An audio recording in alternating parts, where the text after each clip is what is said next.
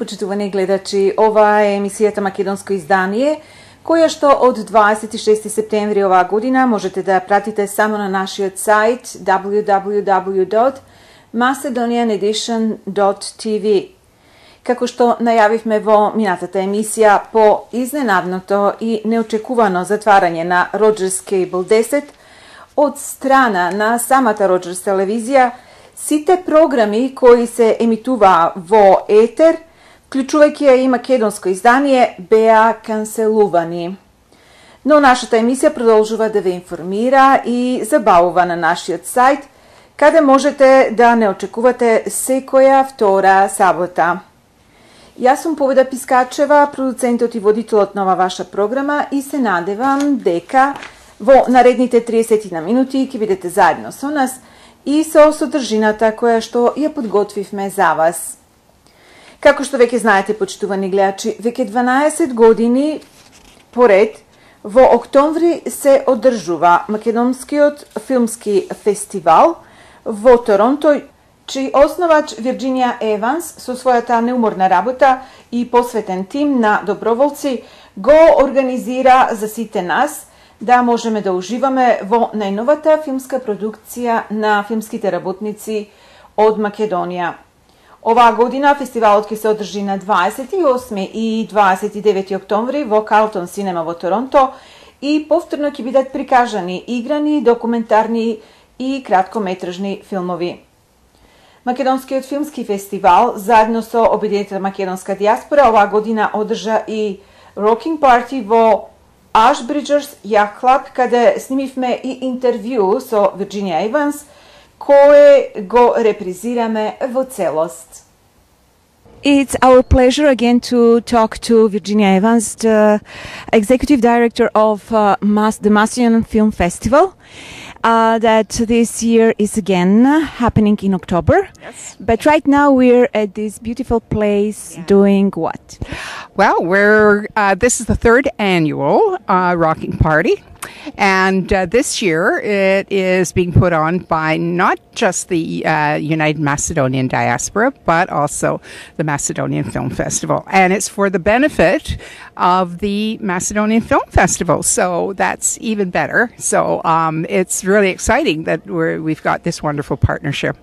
Uh, we just wanted to remind our viewers about the October event, right?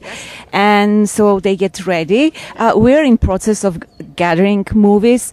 Uh, what should our Macedonians and everybody else who loves foreign films expect from our film festival this year? Well, I've been searching for some really interesting films, and um, we're hoping that we can get a couple of films that were have already, uh, unfortunately or fortunately, been in Toronto already.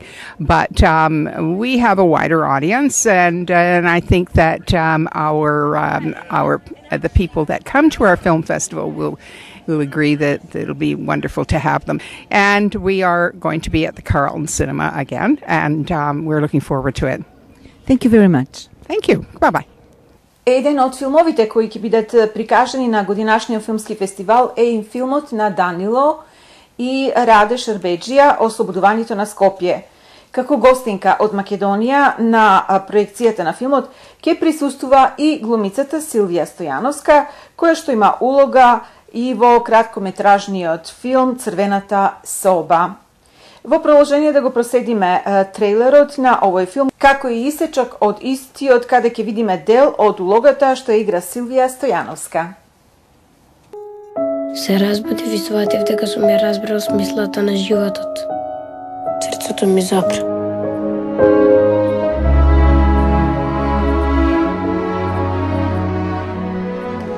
Не го слушаш срцето? Слушай. Aufmachen!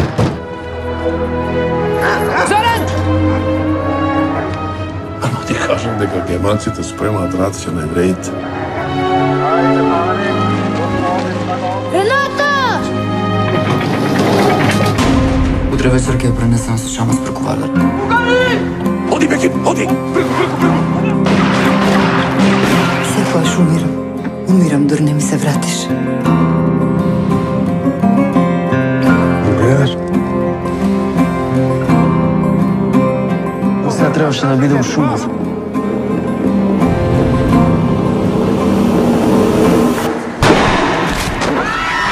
Погоди.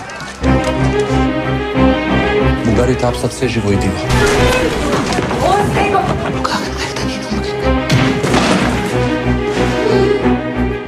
Го третавме германецот брат.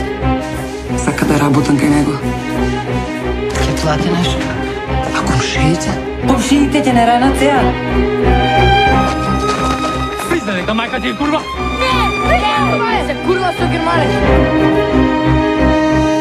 Тато кога ќе се врати? Camilla, ich bin verheiratet.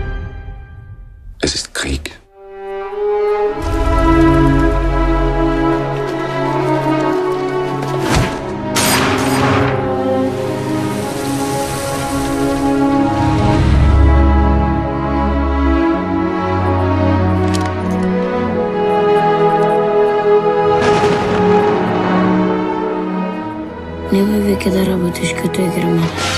Курва.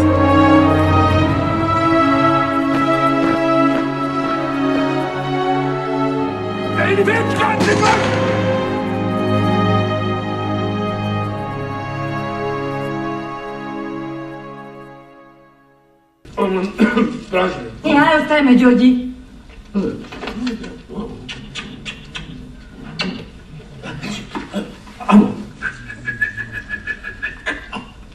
Птица. На нака? Нака? А гула? Гула? Гула? Добро. И шо? Шо гула? Кула? Заборя, ја. Анеца, продолжи.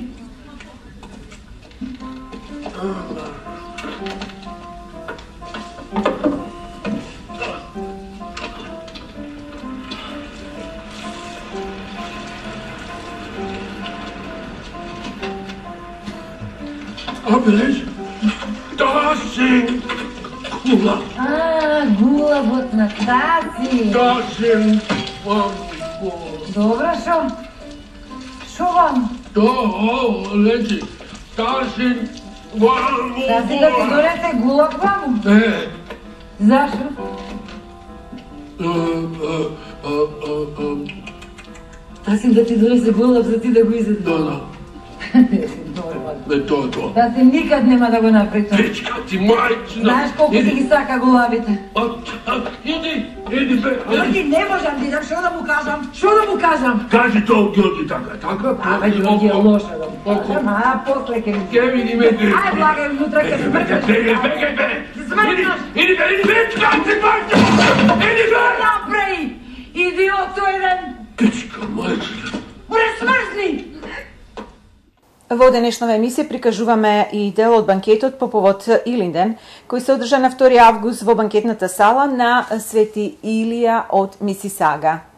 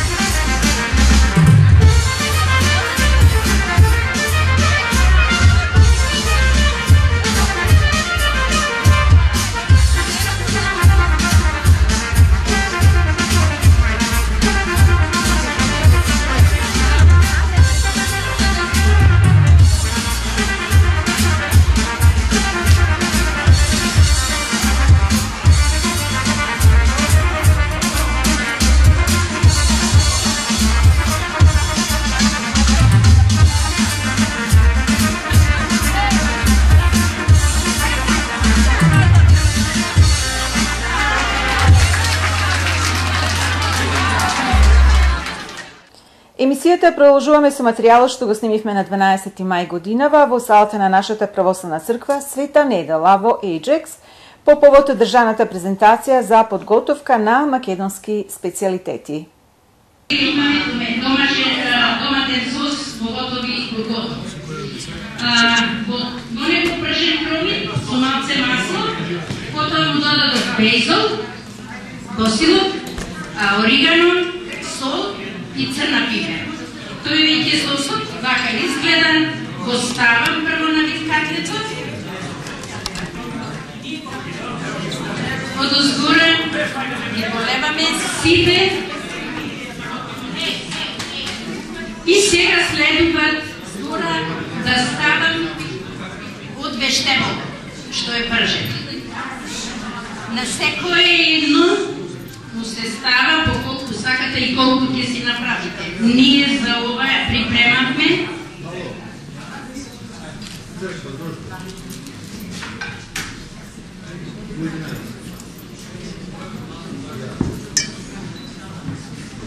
Сега на над вечтеволо го додаваме мазарела рендано, сирење.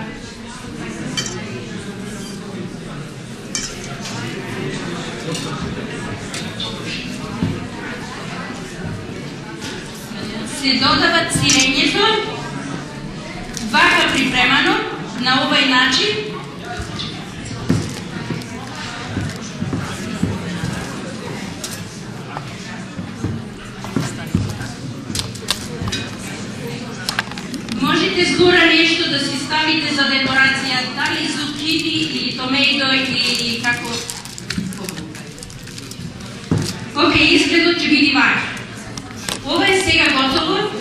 Обично кога идат гостите дома, нема да го спремате, нема ништо да го правите пред време, него од кога ќе речат за вечера салатата се дават вие чешка штопа, тогаш само ќе го ставите за 10-15 минути.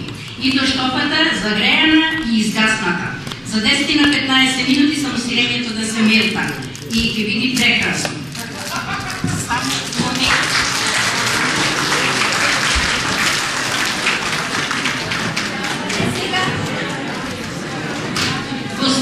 Поставаме горелна за 15 на минути и ќе ми изгледа стопено сирењето вака. Тоа е Убаво, нели?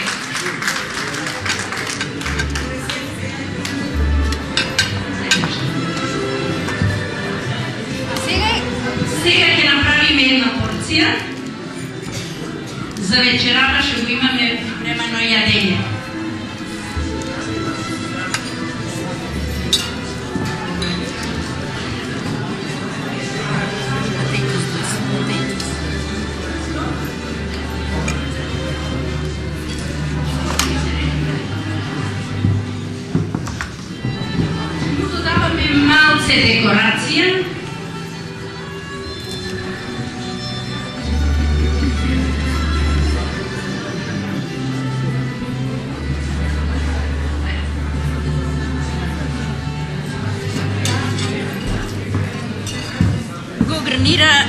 го гранираме со црвена пиперка, од страна ставаме малку макдонос и кромиче.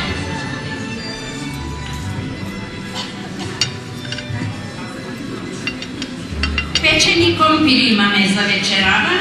Ќе кажеме неколку збора за компирите. Обично сите знаеме дека треба прво да се излупат, да се исечат, да се ичистат и само јас ќе ги кажам на кратко ингредиенс како ги припремам јас лично. Ги печам исто во релна, на вакво тре, на парчмен пейпер, ги ставам и му клавам оригано, а, розмарин и тајм, сол и пипер. И пипер црвена и црна. Ги мешам и масло, ги мешам сите заедно, ги ставам во ревна на 300 степени. А, за старт, време не ги отворам ичи. Компирите излегуваат мозок. Пробајте дома и видите презадоволни. Порцијата што е вечерва спремана изгледа вака за вечера.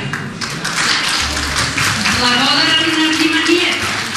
Ме радува што сите сте тука заедно со нас. Благодарение на женската секција да и на председателка Нина што ни го спомна ова за да се организира. А женската секција сите едногласно се сложија и се, се согласија. Се надеваме понатаму да продолжиме вака од публиката да дојде некој да ни покаже некоја рецепта, кој што може и кој што знае. Мислам ќе биде тоа голема помош и за мене и ќе видиме сите заедно за секогаш. Благодарам што дојдовте, Значи, благодарам многу на, на вниманието, а сега ќе почекате малце некој треба да го теста ова јадењето. А не знам кој ќе биде тој. Значи, техниката во куварството, во готвењето е огромна. Јас навистина научив многу оваа вечер Марија, а се надевам и вие. Епа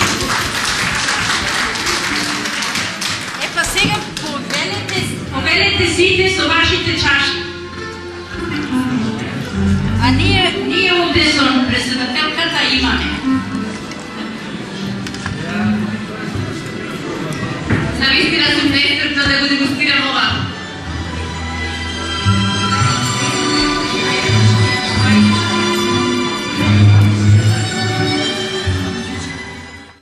И во денешнава емисија имаме неколку информации за сите ваши прослави и одбележувања. Користете ги банкет салите во црквата Свети Клемент Охридски во Торонто. За информации и резервации јавете се на 416 421 7451. За професионално и поволно дизајнирање на веб сајтови побарете ги TJ Hosting на 647 547 3061. Канадското македонско место во Торонто е пензионерски дом кој ви обезбедува угодно и хармонично живење. За повеќе информации побарате ја Златка на 416-755-9231. И секако читате македонски вести, сега и со детални информации и важни надписи за македонската комуна во Торонто.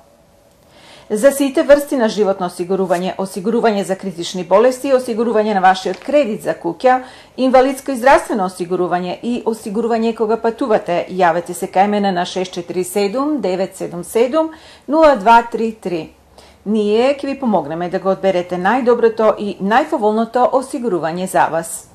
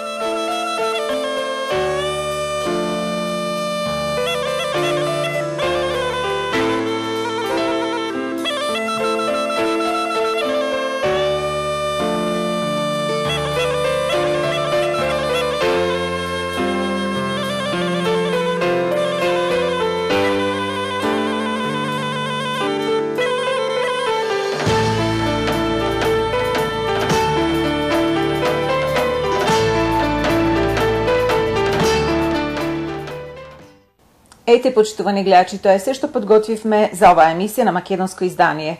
Како што веќе знаете, нашата емисија Македонско издание продолжува да се емитува на нашиот сајт www.macedonianedition.tv секоја втора сабота со нова емисија. Со ваша подршка ќе продолжиме со емитувањето на овој медиум на нашата веб страна – и преку другите социјални мрежи. Ви благодарам за вашето внимание и до нашето следно видување. Пријетно и до гледање.